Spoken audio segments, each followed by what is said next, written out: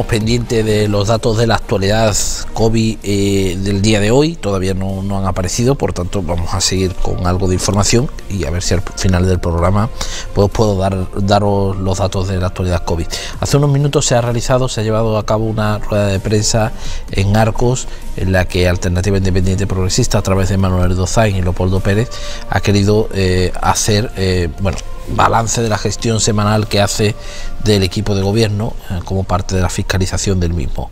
Vamos a escuchar a ambos portavoces. Bien, bueno, pues eh, muchas gracias por acudir a la convocatoria semanal de AIPRO, una, semana más. Y en esta ocasión yo voy a empezar hablando de lo que ya Manuel Erdozain comentó la semana pasada y es la visita que estamos realizando a las distintas barriadas rurales de, nuestra localidad. Y lamentablemente tenemos que decir que nos estamos encontrando en todas ellas con la misma tónica y con la misma situación que nos comentan los vecinos. ¿no? Nos comentan pues dejadez, abandono, falta de atención a sus problemas y necesidades, ninguna inversión o ninguna actuación del, del ayuntamiento en, en, los seis años de gobierno del PSOE. Y lo más importante es la sensación que tienen los, los vecinos y vecinas de, de, esta barriada, que se sienten olvidados, se sienten abandonados y con la sensación de que nadie se preocupa, se preocupa por ellos. ¿no? Además nos lo dicen en el sentido de que dice, nada más que se acuerdan de nosotros cuando llegan, cuando llegan la, las elecciones. ¿no? Eh, hay algunas barriadas que no tienen presidente porque la, las asociaciones de vecinos pues, no funcionan, porque estos señores cuando han visto que van al ayuntamiento a exponer sus problemas al alcalde o a la delegada correspondiente y ven cómo pasa el tiempo, aunque se les recibe y se les atiende bien, pero después pasa el tiempo y no se solucionan los problemas de los vecinos que han ido, que han ido a exponer. ¿no? Falta de limpieza, eh, caminos intransitables, eh, mm, problemas en el acerado, eh, problemas de saneamiento, son algunas de las situaciones que nos han comentado en las barriadas que, a las que hemos ido hasta ahora y la verdad es que no es de recibo que unos vecinos de Arcos de la Frontera que pagan sus impuestos religiosamente como cualquiera del casco, del casco urbano, bueno, pues estén en esta situación de abandono, en esta situación de falta de, actuación y falta de atención por parte del señor alcalde, ¿no? son ciudadanos, como he dicho, que pagan sus impuestos y que necesitan que se les atienda eh, pues como, como, merecen. Así que le pedimos al señor alcalde que atienda a los vecinos de Arco, que atienda a los vecinos de las barriadas rurales y que de alguna manera solucione los problemas que estos vecinos tienen y que se hagan y que de alguna manera haga que se sientan ciudadanos de nuestro pueblo. Porque la verdad es que la situación en la que se encuentra de abandono y de, y de, y de, DAD, pues la verdad que deja mucho que desear. Nada más y muchas gracias. Bueno, pues ahí están en la rueda de prensa de AIPRO. Vamos a escuchar ahora a Manuel Erdozay, hemos escuchado a Leopoldo Pérez. Eh, se encuentran hablando en el Pinar de esas cuestiones que decíamos de la actualidad, las quejas de los vecinos de las barriadas rurales, destacaba Leopoldo Pérez. Escuchamos ahora, parece que, que sí, a Manuel Erdozay. En una zona muy transitada, muy conocida, yendo para el mesón de la molinera y aquí perpendicular a nosotros se encuentra la entrada del carril de Juan Candil. Un carril que, en fin, el carril de las mil historias, como tantos carriles de arcos de la frontera, carriles rurales que no encuentran pues una solución definitiva. En este caso nosotros eh, sabemos que se arregla porque en nuestra época lo arreglamos varias veces con la ayuda inestimable de, de los vecinos y vecinas de aquí de esta zona pero nos siguen diciendo que pese a los arreglos, parcheos que se hacen, no terminan de dar una solución definitiva. Venían que, o pedían que le echásemos una mano en este sentido de demanda de arreglo de este carril y eh, en este sentido es lo que hacemos, transmitir esta eh, demanda hasta el alcalde de Arco a la Frontera para que tome buena cuenta en algo tan importante como son los caminos rurales. Que independientemente del dinero que puedan venir de otras administraciones, volvemos a repetir lo mismo. Si este ayuntamiento tuviera un presupuesto, estamos en junio y llevamos seis años sin presupuesto, tendría una partida especial para mantenimiento de carriles rurales y no tendríamos las quejas continuadas de nuestros vecinos. Independientemente, en otro tenor de cosas, queremos hablar de la situación que últimamente está siendo preocupante eh, por parte de eh, muchísimos vecinos y vecinas de Arco de la Frontera, que es el tema de las llamadas viviendas ilegales en Arco de la Frontera en lo que es la zona del campo, para entendernos, la zona rural de nuestro pueblo. Hemos visto como este equipo de gobierno recientemente ha hecho una campaña de colocación de lo que son vallas más que informativas, todo lo contrario, diciendo vallas que si en este caso hay una situación que está fuera de ley, pues hay sanciones entre 6.000 y 150.000 euros. Yo creo que de no hacer nada durante seis años, este equipo de gobierno, este alcalde, a poner una eh, valla donde en este caso ya está poniendo el parche en la herida antes de tratar la herida, creo que no es el buen camino.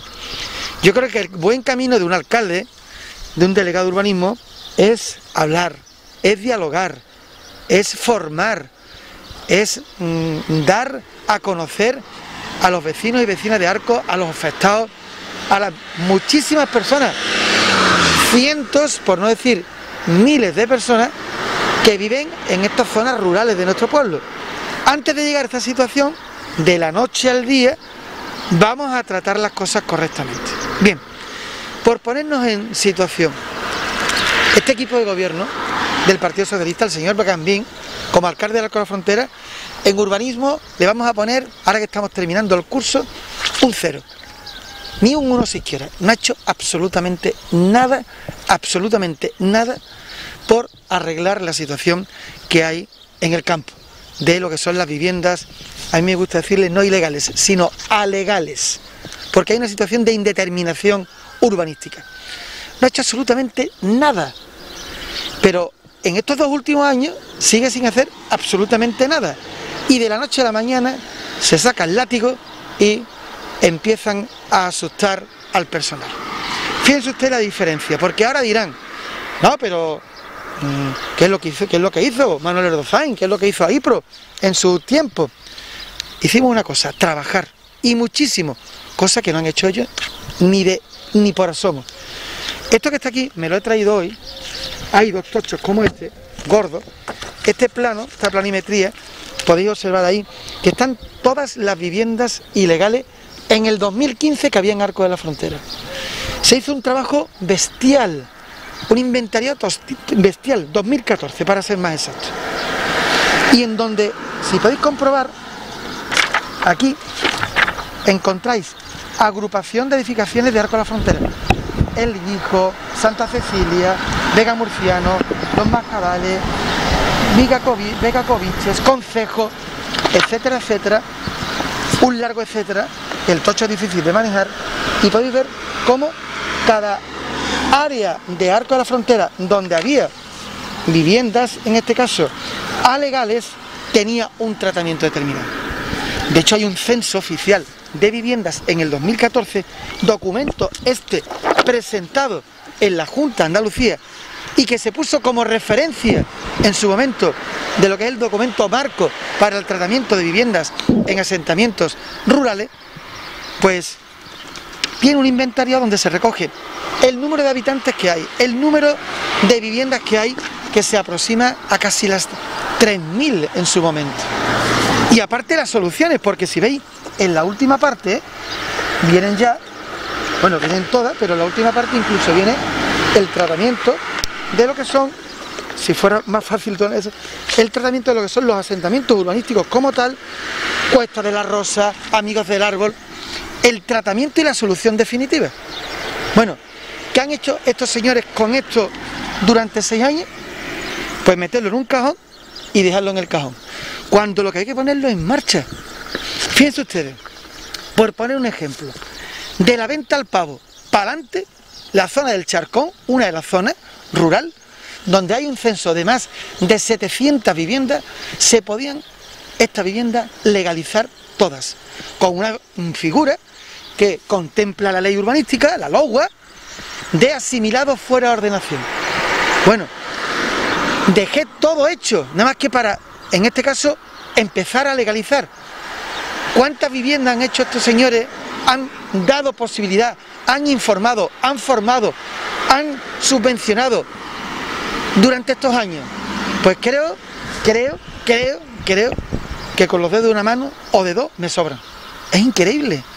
En lugar de sentarse con la gente, hablar con la gente, decirle que el campo hay que regularlo, que hay unas normas básicas, que no puede hacer uno lo que le dé la gana y que ya hay un documento aprobado por la Junta del 2014 para solucionarlo, pues en lugar de hacer eso, no han hecho nada. Han mirado para otro lado durante seis años y han dejado de hacer lo que han querido. Claro, cuando tú miras para otro lado, pues ¿qué ocurre? La gente, dada la situación que hay, la situación de crisis que hay, la situación de pandemia que hay, pues la gente lógicamente, en este caso, hay una serie de situaciones que como aparte no tiene información, pues hace actuaciones que después se entera que le pueden causar gravísimos problemas.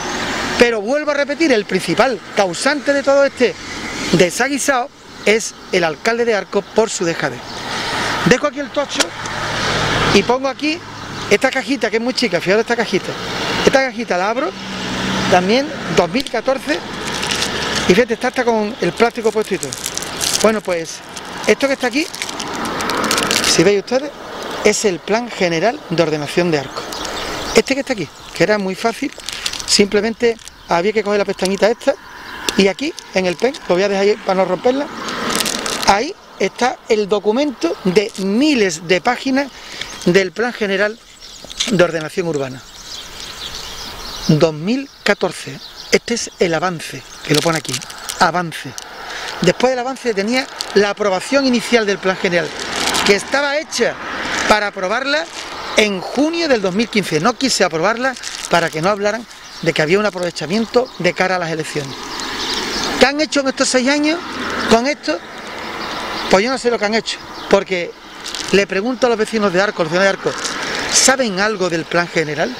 Con lo que lo tenían que hacer simplemente la aprobación inicial, mandarla a la Junta de Andalucía y tendríamos un nuevo plan general.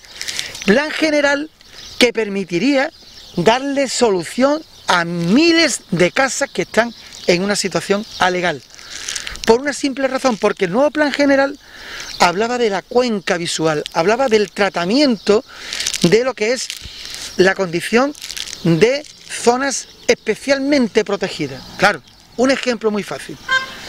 No es lo mismo yo tener una construcción alegal, ilegal, en los llanos de la huerta, que yo vivir en la Sierpe o vivir cerca de Borno, término municipal de Arco, y tenga el mismo tratamiento una zona que está debajo del el balcón de nuestra peña, que se quiere encargar esta gente, el mismo tratamiento ese que este que estamos ahora mismo aquí, en Juan Candil. ¿Cómo va a tener el mismo tratamiento?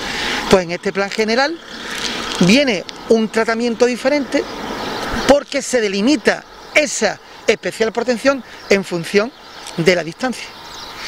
Si lo hubieran hecho correctamente, estarían dando solución a la mayoría de las viviendas. Como no lo han hecho, ¿qué ocurre?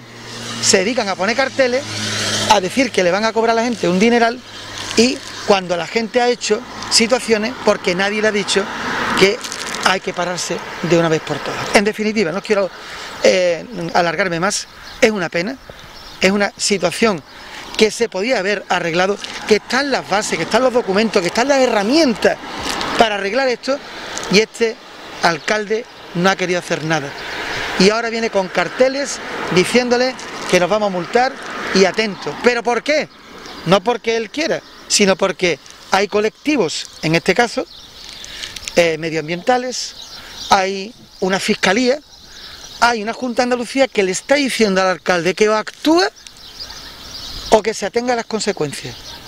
Si no, durante seis años, como dirá. Pero este que viene aquí a contarnos pues le digo, si durante seis años hubiera hecho las cosas correctamente, si hubiera hecho coger el trabajo que hicimos en su momento, mucho trabajo, hoy tendrían solución muchas de las cosas que pasan en Arco y de las viviendas que hay en nuestro pueblo. Así que póngase a trabajar, señor alcalde, trabaje, apruebe un plan general fundamental para nuestro pueblo y darle solución al tema de las viviendas ilegales y no coja el látigo, sino coja los papeles, los libros, la documentación, el diálogo, la reunión, cosa que es lo que que haber hecho y es lo que vamos a hacer nosotros desde AIPRO a partir de ahora. Informar y darle apoyo, en este caso logístico, jurídico, urbanístico, a aquellos que, quieran tenerlo por parte de AIPRO. Nada más y muchas gracias.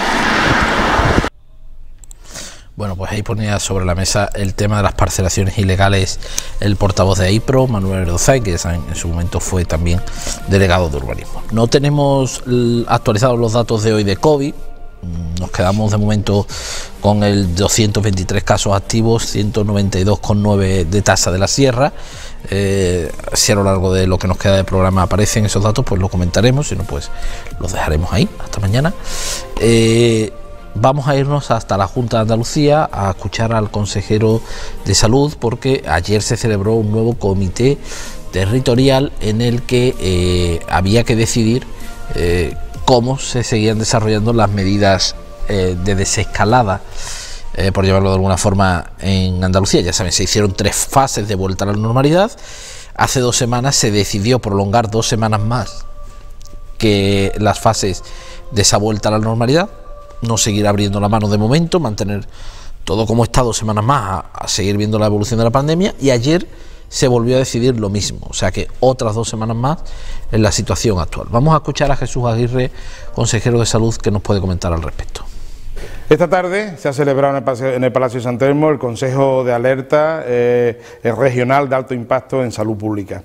Hemos estado valorando eh, los diferentes parámetros, tanto desde el, punto, de vista epidemiológico como desde el punto de vista asistencial y la evolución a lo largo de estos últimos 15 días.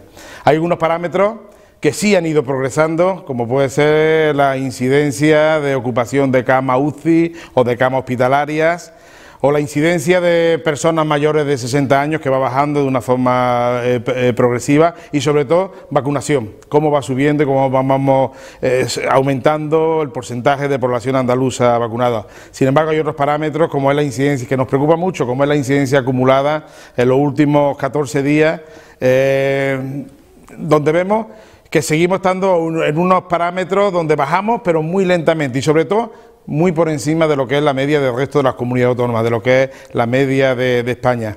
De ahí que se haya decidido ser cauto y ser precavido. Eh, mantenemos las mismas condiciones que hace 15 días, mantenemos las mismas restricciones, los mismos eh, parámetros que pusimos hace, hace 15 días.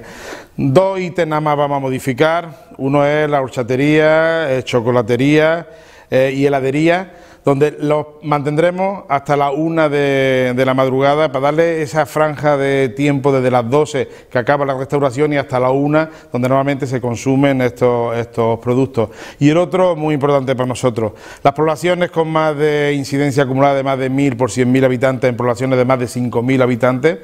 Eh, vamos a valorar también a la hora de pedir el cierre perimetral que la tendencia sea eh, ascendente. En caso de que la tendencia sea descendente, pues sencillamente mantendremos eh, las mismas condiciones sin cierre perimetral. Muchas gracias. Bueno, pues ahí están las novedades de ese comité. Eh, también tiene que ver pues con eso, con lo de la tasa 1000. Si se ve que la tendencia es ascendente, pues se puede mantener o, se pueden decretar los cierres, pero si finalmente se ve que está descendiendo, no, esa es otra de las novedades. Pero de momento que todo sigue como está, todo sigue como está en cuanto a las medidas, porque Andalucía no termina de pegar ese bajón que todos esperamos. Así que esa es la situación. Bien. En cuanto a las vacunas, ya digo, todavía no tengo los datos de hoy, no puedo comentar los datos eh, de hoy del COVID, pero sí os puedo decir en cuanto a vacunas que eh, ya se pueden pedir citas si eres del 82 eh, hacia atrás, hacia atrás en años, o sea, más mayor del 82, de haber nacido en el 82, 82, 81, 80, 79, 78. Hasta este momento pues se podía solo hasta el 80, ya desde ayer se puede 81, 82. Las medidas que se van a hacer y ahora, ahora os cuento de qué es cada teléfono que están viendo en pantalla, pero es importante para el tema de las vacunas. Las medidas que se van a hacer es que ya a partir de mañana se podrá el 83-84, mañana jueves y el viernes el 85, el año 85. Podemos pedir la cita a través de la app de Salud Responde, a través de otra app que hay que se llama Click Salud de Andalucía. Eh, ambas son válidas para pedir cita pero además lo podemos pedir a través del teléfono de Salud Responde, que de los que aparece en pantalla es el tercero, 955-545-060. Ahí se puede pedir.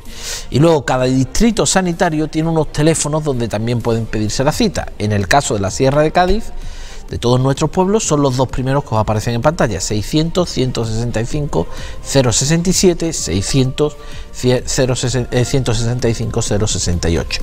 Esos teléfonos también valen por si ustedes tienen 70 años y dicen, no me han llamado, pueden llamar a esos teléfonos y ahí se lo van a aclarar. Eh, y para todos los relacionados con, estos temas de la vacuna, para pedir citas también. Eh, es importante, bueno, desde los años en los que toca, suelen llamar, suelen llamar en función de la disponibilidad de vacunas, pero es que ya podemos pedir la cita nosotros, con lo cual directamente nos la asignan.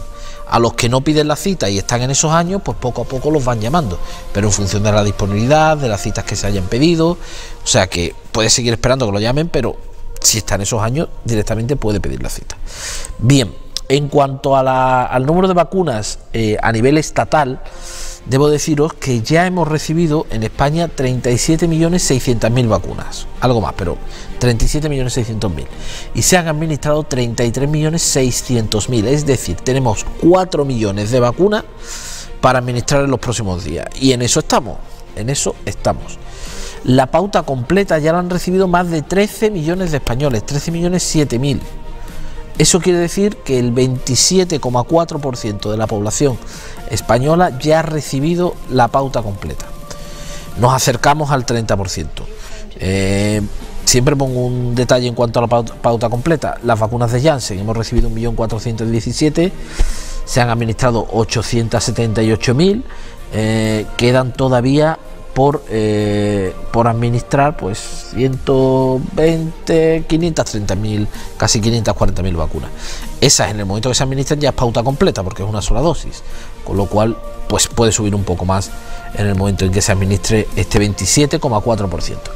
Personas que han recibido al menos una dosis en el país, pues 21.713.840, es decir, el 45,8%. Nos acercamos al 50% de la población que ha recibido al menos una dosis en el país, al 30% que ha recibido las dos dosis o la pauta completa. Mejor, porque hay algunas que es de una. La semana que viene, al 50 puede que lleguemos y al 30 puede que también. Vamos a verlo. La semana que viene, ¿eh? porque esta no. Yo creo que ambos llegaremos la semana que viene. Eh, en Andalucía, las personas que han recibido al menos una dosis es un poco más alta que a nivel estatal. Es el 54,5%. Así que habrá que esperar también cómo evoluciona el tema de la vacunación en los próximos días, que irá a más. Eh, mm, en mi caso, un servidor, ya lo digo, soy del 82, me vacuno el lunes. O sea que llevo mucho tiempo ya, un año y pico, diciendo cada uno que haga lo que quiera, yo en cuanto pueda me vacuno. Pues ayer me tocaba, podía pedir la cita, ayer la pedí, me la dieron y el lunes me vacuno. O sea que, que sí. Que lo tenemos claro, lo tenemos claro desde el principio y es lo que estamos haciendo. Mi compañero Jesús, mañana jueves, creo que era. Jesús, te lo estoy recordando. Sí, sí, me dice 1.48, o sea, para que vea que es verdad. O sea que mañana tenemos que apagar la hormigonera un poquito antes, para que Jesús se, se vaya corriendo a la vacunación va a llegar el hombre ya alterado de, de todo el trabajo. Pero bueno, eh, eso es la tónica diaria. Eh, en cuanto a las previsiones del tiempo, quiero visitar algún municipio para comentaros cómo han amanecido la, jornada, cómo están estos días, si se mantiene esas temperaturas un poquito más suaves que en los últimos días. Y a la vuelta de las previsiones del tiempo ya os digo que tengo los datos COVID. Los tendré que analizar hoy sobre la marcha, pero eh, nuevas bajadas en la sierra. Nuevas bajadas en la sierra nuevas bajadas, por ejemplo, en arcos que, que tira mucho de los datos de la sierra. Eh, vamos a irnos hasta Ubrique. Bien, voy a sacarlo por aquí porque si no, no os puedo contar nada, ya que no os lo cuento yo, lo cuento con datos de la AEMET, que mañana da lluvia. Por cierto, mañana jueves. Vamos a comprobarlo. Eh, hoy, temperaturas que van entre los 15 grados de mínima a los 28 de máxima, lo que se espera en Ubrique. Mañana bajarán las máximas en torno a 3 grados, se irán hasta 25, algo que se mantendrá pues eh, hasta el próximo domingo. Temperaturas más suaves, 25 de máxima mañana, 25 el viernes, 22 el sábado, 23 el domingo. En porcentaje de, de probabilidad de precipitación, el jueves al 100% en Ubrique el 60, entre el 40 y el 60 el viernes, el 45 el sábado, el 50% el domingo. O sea, lo que sí que está claro es que no vamos a volver a ver días soleados en la próxima semana. Hasta el lunes no nos dan días soleados. El lunes también nos lo da eh, nuboso y el martes no sé, porque todavía no lo da. pero de momento vamos a tardar unos días en volver a ese calorcillo de verano. Eso en cuanto a Ubrique, me voy a ir a Grazalema, donde eh, el tiempo, pues pueden verlo, de, momento no luce el sol, no luce el sol. Hoy se espera máximas de 26 grados, mínimas de 14 en Grazalema. Ya mañana llega la probabilidad de precipitación, también en torno al 100%, 13 grados de mínima, 22 de máxima. Se mantendrán las máximas en 22 el viernes, 20 el sábado, 21 el domingo, 24 el lunes, donde ya comienzan los cielos a despejarse un poco, estarán solo nubosos, pero mmm, tampoco vuelve el sol. O sea que mmm, viene un poco más de fresquito que estos días pasados, o eso parece al menos, en la comarca de la Sierra, parece que el verano todavía va a esperar un poquito, que quedan ya pocos días, aunque el lunes oficialmente entramos en el verano. Uno de los pueblos con las temperaturas máximas siempre, que es Arcos, por ejemplo, llegará a los 28 y Villamartín, que es otro, pues 28, 29, o sea que eh, eso es la jornada de hoy, en el resto pues un poquito todavía más baja. Bien, dejo este municipio hoy sobre la marcha mirando el ordenador, no tengo otra, no tengo otra, os puedo contar y calcular sobre la marcha que se han notificado 17 casos nuevos de COVID en la última jornada en la sierra, 17, ya esto empiezan a ser datos bastante positivos, no queremos lanzar la, las campanas al vuelo, pero empiezan a ser, datos positivos. El número de fallecidos se mantiene en 158. Con estos 17 casos nuevos, la sierra tiene eh, eh, unos, dos, bueno, unos no, exactamente, según los datos oficiales, 214 casos activos ahora mismo en la comarca, lo cual indica que se va su tasa a 185,2, su tasa eh, COVID, o sea que mmm, bajando, bajando en la sierra, bajamos exactamente 7,7 puntos, que es una buena bajada, eh, bajamos en 9 casos activos, vamos bajando, poquito a poco, pero vamos bajando. Vamos a analizar eh, los siete pueblos que, tenían mayor incidencia hasta este momento. También vamos a comprobar así por encima si mantenemos 3, 4, los 5 y si nos mantenemos pueblos con tasa cero, que son Alcalá del Valle, que es nuevo en esto desde ayer, eh, Benaocaz, Grazalema, Torrealá y Villaluenga del Rosario tienen tasa cero, o sea, ya 5 de 19. A ver si esta semana sumamos alguno más, hay algunos que la están rozando, con lo cual espero que sí, que la sumemos. Pero analizando los pueblos con mayores problemas hasta ayer, decimos que hoy Algar, que sigue siendo el de la tasa más alta, pues tiene una bajada de 5 casos activos. Pasa de 24 a 19, su tasa ya se va a 1330,5. Ya esto empieza a coger color en Algar. De los 19 casos, 4 solo de esta semana, 15 de la anterior. Va a mejorar en los próximos días, o eso se espera. Eh, en Prado del Rey también os tengo que contar que aunque hoy se mantienen los casos activos, que son 34, eh, y la tasa es 608,2, pues hombre, también se ve una mejoría en tanto en cuanto a que 12 casos activos son de esta semana, 22 de la anterior, también se espera que en breve vaya mejorando la cosa en Prado del Rey. Yo siempre digo lo, esper lo esperado, pero luego mmm, si se van ustedes de comunión y hay un brote de 50 personas, eso no puede ser esperado. Así que eso ya es otro, es otro asunto. Espera eh, 15 casos activos, que es uno menos que ayer, por tanto su tasa baja a 387,7.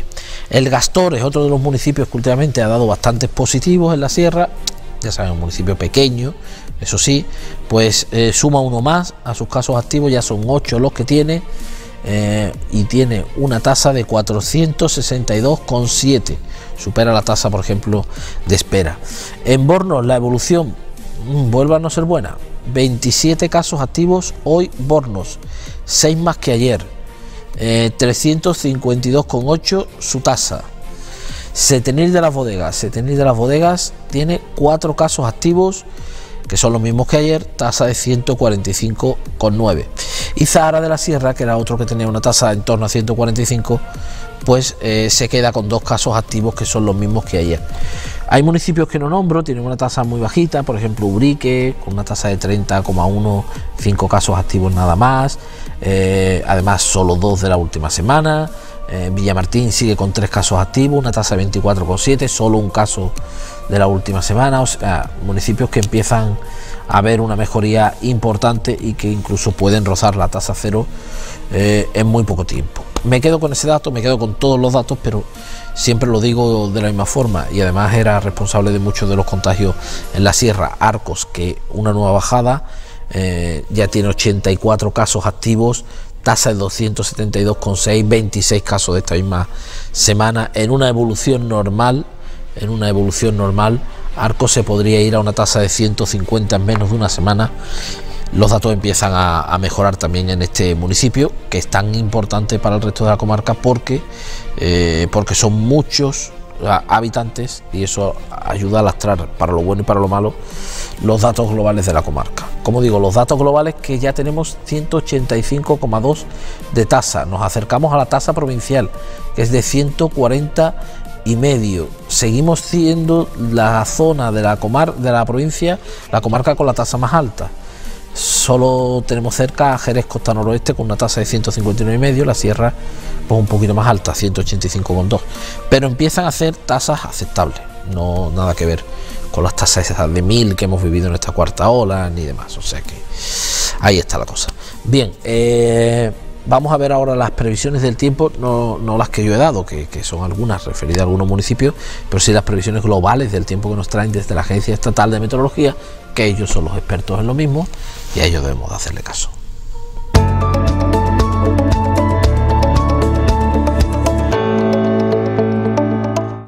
¿Qué tal? ¿Cómo están? Tormentas más intensas se extienden por más zonas de España mientras el calor se irá debilitando. Tormentas que esta tarde serán localmente muy fuertes en el noroeste peninsular, se esperan también en el centro y en el sureste y mañana jueves por la tarde se reactivarán las tormentas fuertes o muy fuertes en zonas del norte de la península. La Agencia Estatal de Meteorología tiene avisos por estas tormentas que esta tarde pueden ser muy fuertes con granizo y fuertes rachas de viento en Lugo, Ourense, Asturias y León. En el resto del noroeste también tormentas intensas, al igual que en el sureste, y los avisos en Zaragoza, en Lleida y en Baleares son por altas temperaturas. Mañana jueves, avisos en muchas zonas del norte y el este de la península por chaparrones tormentosos que serán más fuertes en Guipúzcoa, en Navarra, en Huesca, en el norte de Zaragoza y en Lleida. En las últimas horas hemos tenido ya chubascos y nubes convectivas en el noroeste y en el sureste de la península, chaparrones tormentosos que irán a más a lo largo de la tarde con esa baja relativa en superficie,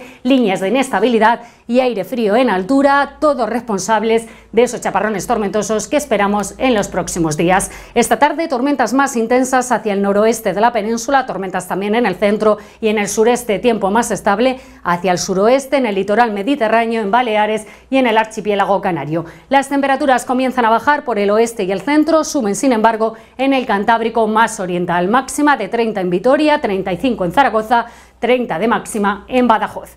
Mañana jueves por la mañana chubascos tormentosos que pueden ser localmente más fuertes en Melilla y en el sureste de la península y por la tarde se reactivarán las tormentas en zonas del norte, especialmente en el Cantábrico Oriental, en Navarra, en el norte de Aragón y en la provincia de Lleida. Las temperaturas el jueves serán noticia, bajarán de forma muy importante en prácticamente toda la península, también bajan en Baleares, apenas cambian en el archipiélago canario. Máximas en general entre los 23 y los 28 grados, se quedan con 20 en Santander y en Vitoria, se alcanzarán los 30 en Valencia y en Palma, máxima de 27 en Santa Cruz de Tenerife. Más información en nuestra web.